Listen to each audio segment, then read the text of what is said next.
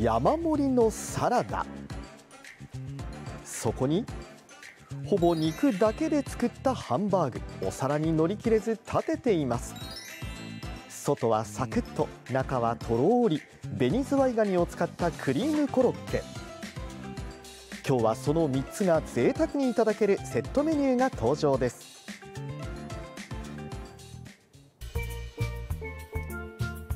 山形市の中心部旅籠町にある洋食店キッチンリーフ。こちらは本格的な洋食を楽しめるお店で4年前にオープンしました。お店を切り盛りしているのが鈴木義之さんです。お待たせいたしました。失礼いたします、ハンバーグとカニクリームコロッケになります。いやー山盛りですね。山盛りで。はい。はい、サラダもカメラ側だとねこちらのハンバーグとコロッケが見えないぐらい高くなってますがまずは粗挽きハンバーグからいただきます。ここちらお箸で食べられるということで、はい。お箸で押すと肉汁がちょっと出てきますが。はい。そしてこの自家製のケチャップがはい。お皿の下にありまして、はい。このケチャップをしっかりつけていただきます。うん。肉肉しいハンバーグですね。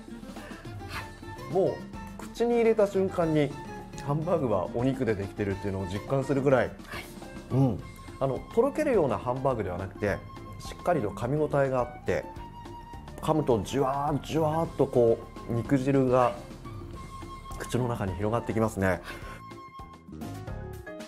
肉肉しさをしっかり感じたのもそれもそのはず卵以外卵以外のつなぎを使わずに2種類の牛の粗挽き肉と豚のひき肉で作られていたんです。ご家庭とはちょっと一味違う食感の方でも楽しんでいただけたらなと思っております。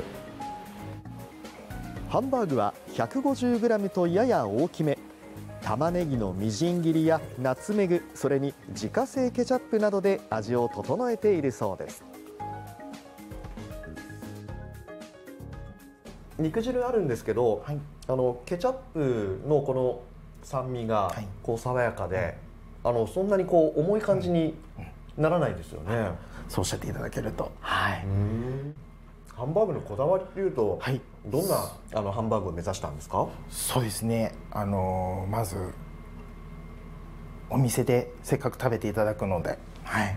あのー肉食ってるぞを まず第一コンセプトに持っていかにも肉食ってますよっていうハンバーグを目指して、はい、作らせていただきました。鈴木さんは京都の洋食店で6年間修行地元の山形に戻り店を開きました。続いてはカニクリームコロッケ。うん。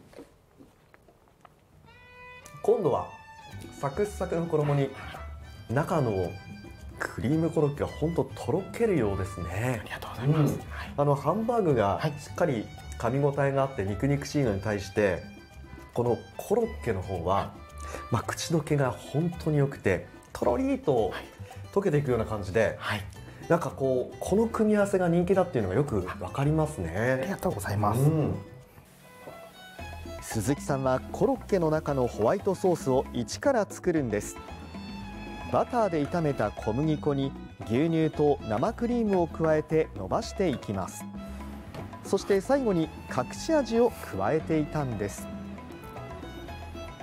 こちら白ワインになります。白ワイン。はい。はい、白ワインを最後に香り付けで入れております。甘口の白ワインが合うんだそうです。何かあの白ワインを入れるこだわりってありますか？風味がまとまりやすいのと柔らかい味わいに仕上げております。具材には紅ズワイガニの身を使っていました。あらかじめ炒めていた玉ねぎと一緒にホワイトソースに加えます。サクッとした歯触りのコロッケにするため鈴木さんはひと手間かけていたんです。コロッケ自体が結構柔らかくてあまり薄いと結構すぐ破裂しちゃうんですね衣はちょっと厚めにはなっちゃいますけど 2, 2回つけてます。注文を受けてから揚げるので外はサクッと中はとろけるような食感になるんですね。店の名前のリーフは葉っぱのこと。